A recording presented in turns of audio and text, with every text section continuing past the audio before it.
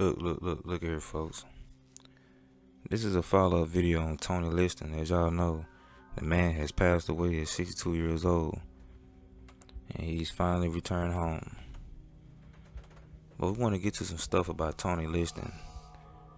As y'all know, man, he played in Deebo movies, and I don't think you can ever replace that with anybody, cause he did it the best he can awfully do it.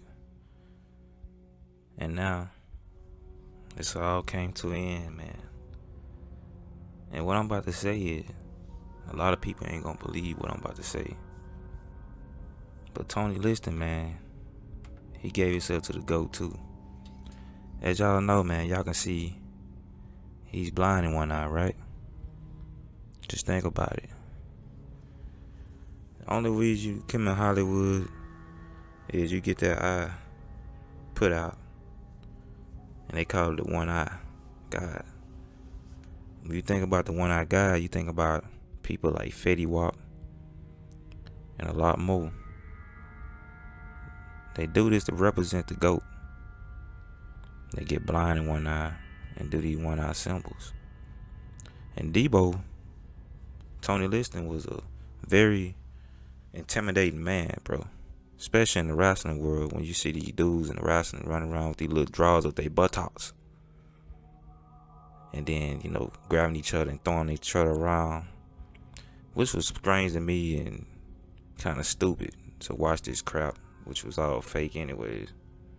As y'all see Hulk Hogan and both of them on this photo together, staring each other down like they just want to get rid of each other.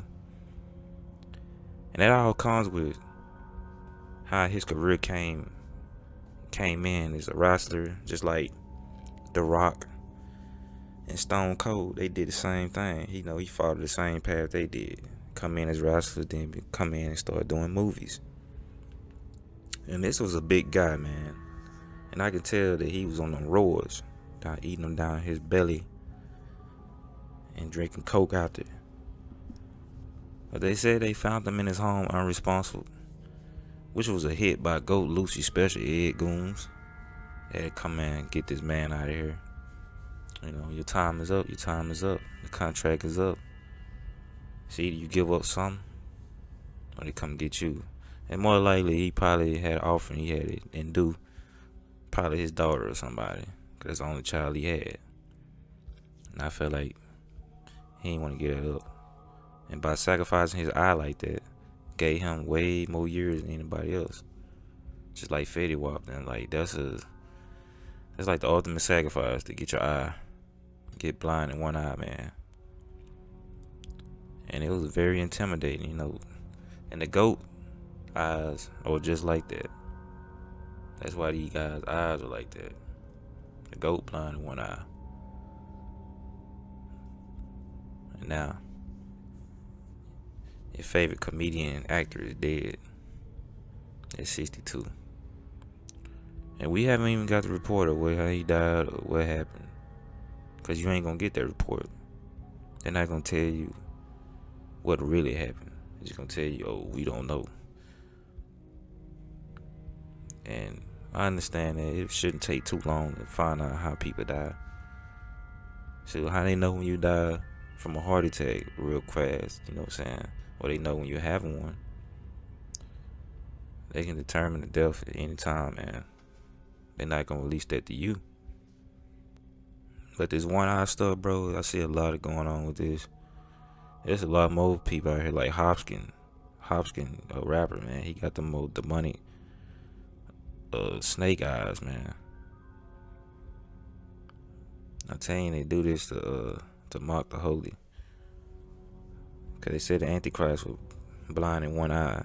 And that's why you see a lot of the celebrities, man, with his eye, man. Because, you know what I'm saying? His eyes were very intimidating. Like, Deebo can look at you and you probably run with that eye, man.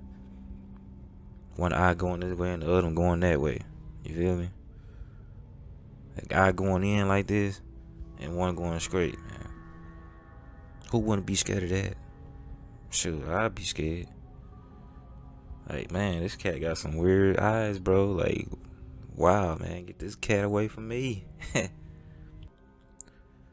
all jokes aside, though, look.